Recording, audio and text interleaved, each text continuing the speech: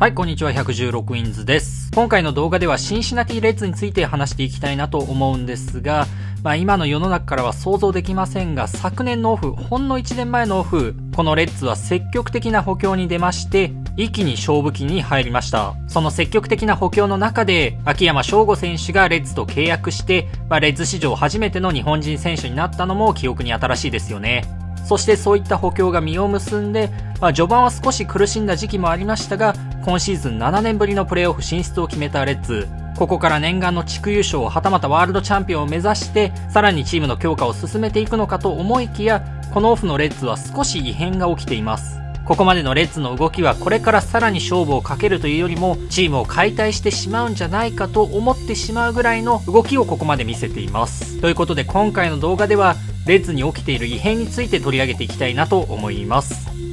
はい。では、レッズの異変を見る前に、まず昨年のオフのレッズの動きをちょっとおさらいしていきましょう。昨年のオフのレッズ、先ほども言いましたが、大補強に動きまして、主な契約としてこちらの4選手と契約しました。強打の内野手マイク・ムスタカスとは4年総額6400万ドル、先発投手のウェイド・マイリーとは2年総額1500万ドル、そして冒頭でも少し触れましたが、秋山翔吾選手とは3年2100万ドル、そして極めつけには昨年のオフの FA 市場の目玉の野手の一人であったニック・カステヤノスと4年総額6800万ドルの契約を結びまして、この4選手だけでレッズは総額1億6800万ドルを使っています。レッズは MLB 全体で見てもめちゃくちゃお金がある球団というわけではありませんので、まあ、4選手に対して1億6800万ドルものお金を使うという決心は、レッズが今から勝負に入るぞという意思表示にも見えますし、それだけチームとしても本気でコンテンダーを目指していくという姿勢を補強で表したんじゃないのかなとも思いました。レッズはここ数シーズン悔しいシーズンが続きましたが、昨年のオフの動きを見ていますと、本当にこれからどんなチームになるんだろうとワクワクしましたし、また NL 中地区は結構実力も拮抗した地区でしたので、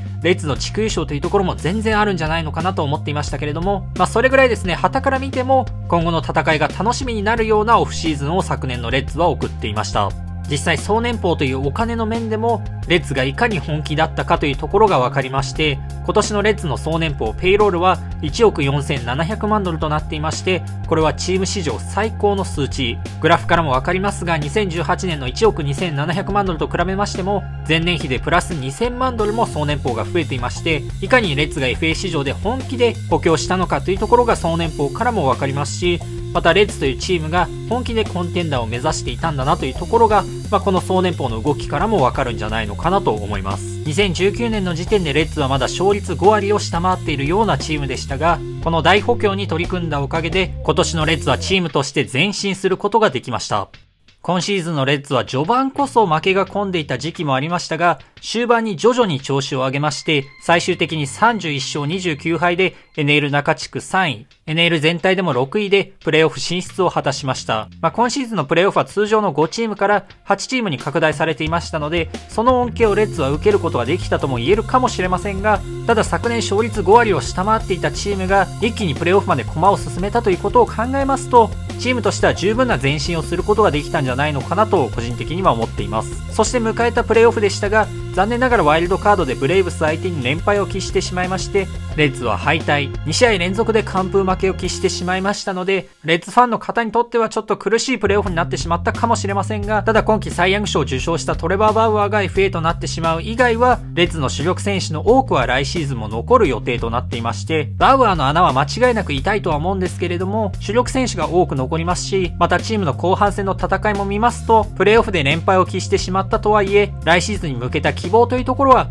まあ、十分あるんじゃないのかなと思っていました。そう、この時まではそう思っていました。ただオフシーズンに入ったレッズは、勝ちに行くということと真逆の方向に動いてしまいます。前置きが少し長くなってしまいましたが、ここからですね、ようやくこのオフレッズに起きている異変について話していきたいなと思うんですが、レッズのここまでのオフシーズン明らかに年俸削減に舵を切ったとしか思えないような動きが続いています。まず今シーズンサイ・ヤング賞に輝き年俸1750万ドルを受け取っていたトレバー・バウアーは FA となりました。まあ、バウアーに関しては今シーズンサイ・ヤング賞クラスのパフォーマンスを見せていた時点で、レッズに残留する可能性はほぼないだろうなと多くの人が考えていましたので、バウアーとの再契約の可能性が低そうなのは、まあ、まだそれはわかるんですけれども、問題は他の動きなんですね。まずクローザーのライセル・イグレシアスをエンゼルスへトレードしました。イグレシアスは2017年からレッズのクローザーとして活躍していまして、今シーズンの年俸は900万ドル。来シーズンもほぼ同額の年俸となっていまして、イグレシアスクラスのクローザーであれば、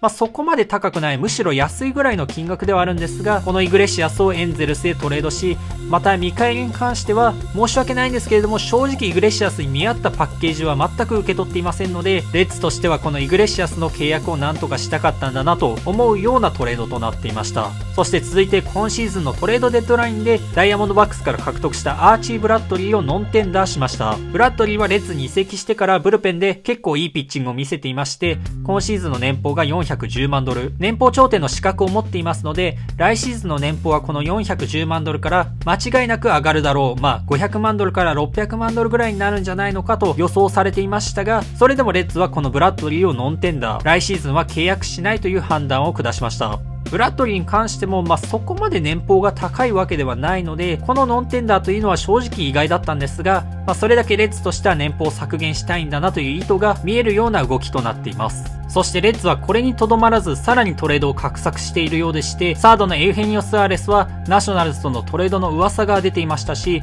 また先発3本柱の一人であるソニー・グレイについても、現在レッズはトレードを模索しているんじゃないのかと報道されているところです。こういった動きを見てもレッズは主力選手をめちゃくちゃ動かそうとしていますし、これは明らかに昨年大補強したチームの動きとは思えませんし、なんなら来シーズンも勝負しようというチームの動きでは明らかにないわけですよね。で、こちらが来シーズンレッツと契約が残っている選手を年俸順に並べたものとなるんですが、ここまで動かしたイグレシアスやブラッドリー、そして動かそうとしているスアレスやグレーの年俸を見てみますと、チームの中でもかなり上位に入ってくるんですよね。まあ、ボットに関してはちょっと年齢やパフォーマンス、それから年俸の額が高すぎることから、まあ、動かすのはかなり難しいでしょうし、カステヤノスやムスタカスについては、まだ契約が3年残っていることから、こちらもなかなか動かしづらいと。そういったことを考えますと、年俸がある程度高くて、かつトレードバリューのある選手を積極的に動かそうとしているんだと思いますけれども、レッズの来季の総年俸は、バウアーが残留しなかったとして、だいたい1億3700万ドル前後になるのではないかと当初は言われていましたが、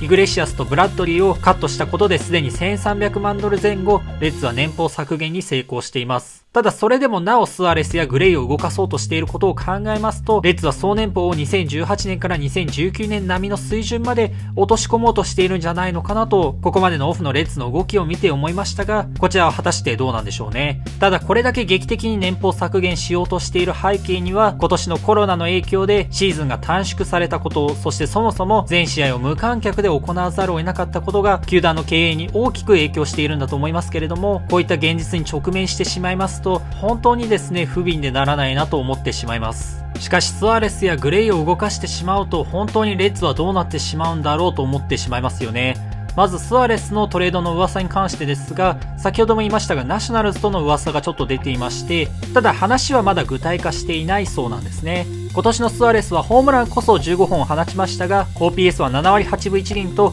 スアレスにしては少し成績が落ちるシーズンとなってしまいましたが、ただ2019年は49本のホームランを放った強打のサードです。ナショナルズは今シーズンサードのアンソニー・レンドーンがエンゼルスへ FA 移籍しまして、で、そのレンドーンの穴が全く今年は埋まることがありませんでした。スアレスはチームとの契約があと4年残っていまして、で、各年の年俸も1000万ドル程度と、彼クラスの選手にしては結構安いので、ナショナルズとしてはターゲットにしたんだと思いますが、ただスアレスの名前がトレードの交渉で上がってきたということは、いい話があれば動かしたいという思いは、心のどこかではあるのかもしれませんね。そしてもう一人グレイについては、スアレス以上に現在レッズが積極的に動かそうとしているんじゃないかと言われている選手です。グレイはもともとヤンキースから移籍してきまして、ヤンキース時代のグレイはかなりピッチング面で苦しんでいたんですが、レッズに移籍後復活、2019年からの2年間で防御率3.07を記録しておりまして、レッズの先発ローテーションを支える活躍を見せた選手です。2019年は31先発で11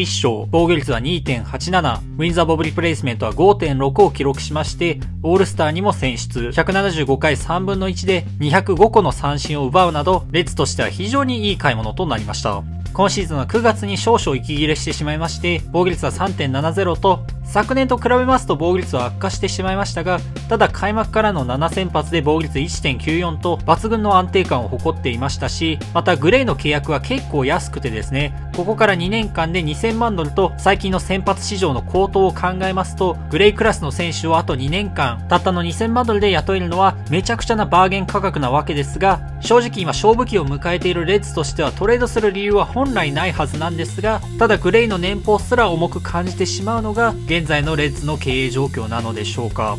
ということで、せっかく勝負期に入ったのに、コロナという想定外の事象で収益面で大打撃を受けたレッズは、大補強から1年経ってチーム解体の危機を迎えています。レッズはもともと裕福な球団でもないですので、昨年のオフちょっと無理をして FA 市場で積極補強に出たのが完全に裏目に出てしまう結果となってしまいました。もう本当に不憫でしかならないですよね。ここ何年間我慢して我慢して、ようやく勝負するタイミングを見つけて、で、チームとしても適切にお金を使うことができたにもかかわらず、こういった事態になってしまって、せっかく作り上げたチームをわずか1年で解体しなければならなくなってしまったと。本当にかわいそうな状況になっていますが、なんとかこの危機を乗り越えて、再び本当の意味での勝負期をレッズには迎えてほしいなと願っております。ということで今回の動画は以上としたいと思います。また今後もですね、メール便に関する動画を上げていきますので、興味のある方はぜひチャンネル登録と、また動画が面白ければぜひ高評価をいただけると幸いです。それではご視聴ありがとうございました。